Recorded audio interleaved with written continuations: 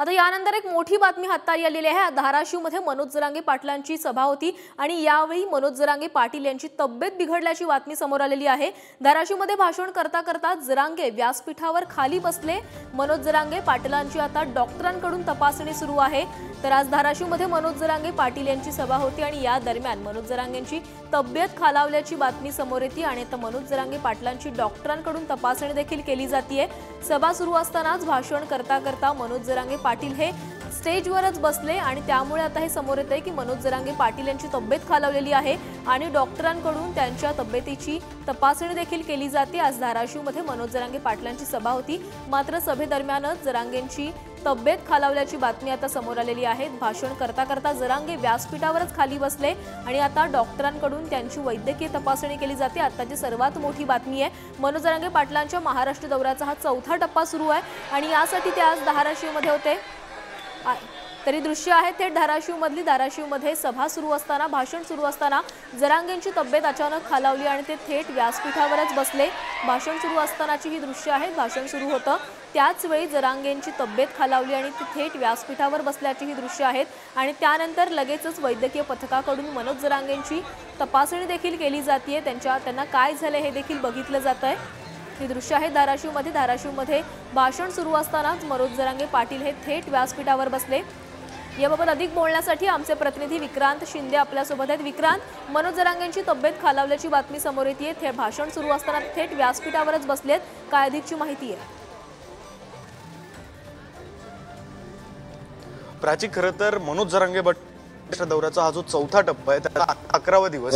एक डिसेंबरपासून मनोज जरांगे पाटील हे महाराष्ट्र दौऱ्यावर निघालेले आहेत.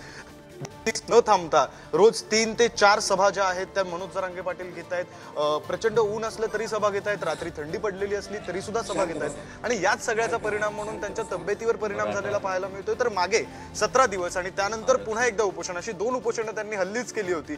या सगळ्याचा परिणाम जो आहे तो त्यांच्या तब्येतीवर झालाय असं आपण म्हणू शकतो. मात्र या सगळ्याच्या पुढे जाऊन तब्येत बरी नसतानाही ते आज मंचावर गेले. मंचावर बोलायला सुरुवात केली मात्र त्यांना ते जमलं नाही म्हणून ते बसले आणि त्यांनी छोटे का होईना परंतु भाषण दिलं आणि त्यानंतर ते निघाले. मात्र निघण्यापूर्वी मंचावर लगेच डॉक्टर जे आहेत ते डॉक्टर आले. डॉक्टरांकडून त्यांची वैद्यकीय तपासणी झाली. त्यांना काही गोळ्या देण्यात आल्या.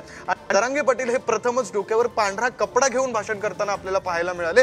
खरं तर कितीही ऊन असलं तरी ते असं म्हणतात की माझा समाज उन्हात आहे तर त्यामुळे मी सावलीतून भाषण करणार नाही आणि ते स्वतः उन्हात उभं राहून भाषण करतात. मात्र आज त्यांची तब्येत खालावलेली असल्या कारणाने त्यांनी डोक्यावर पांढरा कपडा घेऊन भाषण केलं आणि त्यानंतर आता त्यांचा ताफा जो आहे तो पुन्हा एकदा निघालेला आहे. मात्र आता ते पुढच्या सभा करणार की काही वेळ विश्रांती घेणार डॉक्टरांचा सल्ला घेणार हे सगळं पाहणं महत्वाचं असणार आहे. कारण आता त्यांच्या चौथ्या टप्प्याचे केवळ दोन दिवस उरलेले आहेत. आजचा एक दिवस आजचा मुक्काम जो आहे तो बीड जिल्ह्यातील अंबाजोगाईमध्ये असेल आणि त्यानंतर उद्या पुन्हा एकदा रात्री ते अंतरवाली सराटी म्हणजे त्यांच्या उपोषणाच्या ठिकाणी पोहोचतील. मात्र आता इथून पुढे सभा घ्यायच्या की आराम करायची आराम करायचा नेमका काय निर्णय होतो हे सुद्धा पाहावं लागेल प्राची. विक्रांत आता पुढे कशा प्रकारे मनोज जरांगेंचा दौरा नियोजित होता आणि डॉक्टरांनी काय सल्ला दिलाय नेमका आणि तो सल्ला आता ऐकून जरांगे आपला नियोजित दौरा पूर्ण करू शकतात का?